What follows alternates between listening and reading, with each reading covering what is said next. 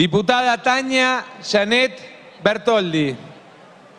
Juráis por la patria desempeñar fielmente el cargo de diputada y obrar en todo de conformidad con lo que prescribe la Constitución Nacional. Por mis compañeras y compañeros militantes de mi ciudad y mi provincia de Neuquén, por Perón y Evita, por Néstor y Cristina, sí juro. Si así no lo hiciereis, la patria os lo demanden. Le invito a ocupar su banca.